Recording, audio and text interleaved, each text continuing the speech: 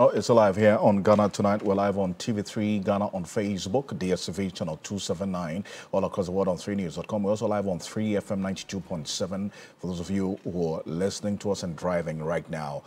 We've got you covered there. But coming up next year on Ghana Tonight, Ghana's judiciary is on the front burner following the Ibrahim impartiality index on the African governance uh, would get in there shortly here on Ghana Tonight. What do Ghanaians think about the judiciary? Would love to hear from you. And this was by the Mo Ibrahim Foundation, and this specifically the Ibrahim Index on African Governance. And, and this recent report by the Mo Ibrahim Foundation has revealed a significant decline of about 30% in the perceived impartiality of Ghana's judiciary between 2017 and 2023. Now, the report's indicator measures judicial impartiality based on factors such as the independence of the courts, the autonomy of the judges, and judicial appointment. Now, in 2014, Ghanaians' confidence in the judiciary's impartiality was rated 95.3% percentage points. And however, the, the study finds that this has dropped to 68.3 that's as of 2023, about 27 points decline over the period. And I'm going to show you the trend graph in a bit, but we hit the streets to engage members of the general public on, on this as well, because this forms and captures the sentiments and the observation, the experiences of people with the judiciary. And you know that this is consistent with the likes of the Corruption Perception Index by the Transparency International Afrobarometer survey also captured similar sentiments as well. Emmanuel Samani is connecting me with me right now uh, with the people's voices on this. Uh, Samani, what are the people telling you? Absolutely, Alfred. Good evening and welcome to the People's Voice here on Ghana Tonight. And I am Emmanuel Samani. Tonight we're hitting the streets to find out from people, according to reports circulating, that the judiciary has dropped by 30% uh, in terms of being impartial. And that report further states that between 2017 and 2023, this has been the decline over the last six years. So we're on the streets to find out from people if they think that the courts have been biased over the last six years. So let's get some thoughts on this. Let's get let's talk. You don't want your face to show? Okay, sure, sure, sure. That's fine. Uh, he doesn't want his face to show, but uh, so just come come this way for me. Uh, so, so we're asking, um, you know, the courts. What do you make of the courts at the moment? Uh, some reports are saying that they have, they've been impartial uh, over the last six years. I mean, even quoting some figures that 30% uh, the courts have been impartial. What do you make of it? And what's your overall thoughts on the judiciary and the court system? Okay. For the courts, they are doing their work. But then we, the public, also um, have our own opinion about how they are doing their work.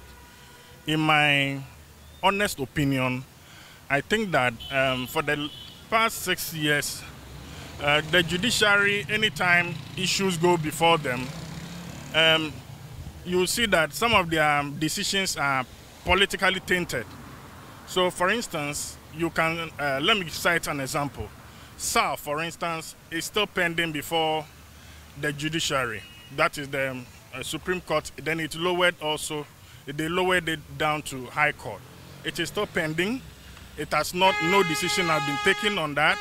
Now, um, in terms of Parliament, the moment the, um, the um, those issue came before the judiciary, quickly they they, they, they, they, they took a decision on it. Then the, the issue of the LGBTQ, also going before um, before the judiciary. They couldn't, up until now, there is no decision on it. Even it went to the president, the president also um, shoot back um, the, the, the, the, bill even to parliament. These are things that uh, I think the judiciary need to do better.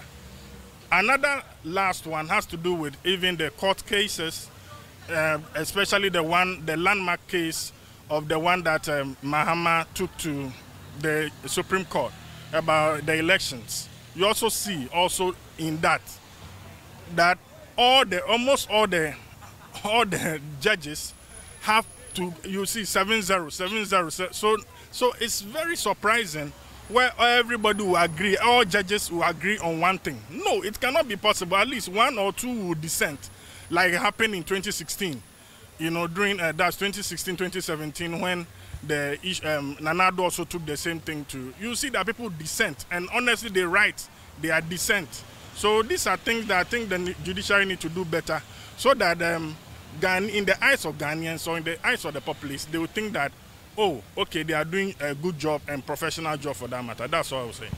Well, there you have it, uh, an anonymous uh, uh, opinion on, on this matter. It seems that he, he clearly believes that the courts uh, have been uh, biased. Let's get some more on this particular uh, subject matter. My boss, yeah. Uh, so we're finding out what people make of our judicial system. Re reports indicate that judicial system has been become impartial. Yeah. some stating as much as 30%. From where you sit, do you think that the courts are more biased than before? Oh yeah, very true. This time the court, you know, you don't have uh, uh, anything about the court here. They, they are very biased. If issue come, the way they do the thing, you know, people see them, they are not really on top of the issue. Like example, so, so many instances came out. The way they, they do the matter, if they come together, it's a different crowd. Right. Yeah.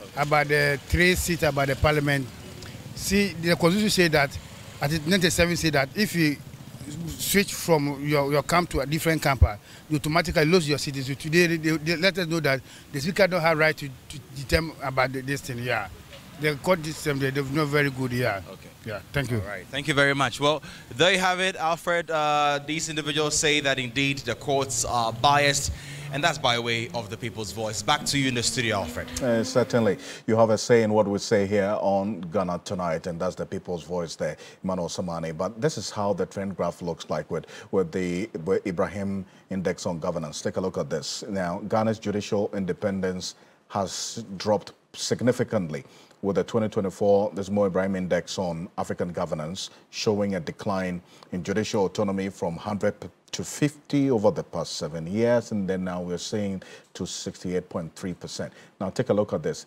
In, in the year 2014, judicial impartiality was 95.3%, right? Appreciably high. And then it was consistent. In fact, the highest was in 2017, 97%. Then we saw the decline consistently from 2017 based on the Ibrahim Index on African Governance to 75 to 71 to 69 to 68. Then it went up a bit to 69.7%, now 68.3%. And well, conversation continues as to what can be done. That is, if the judiciary is even minded about this perception and, and, what is being done to address this. But on behalf of team, I want to say thank you so much for joining us here on Ghana Tonight.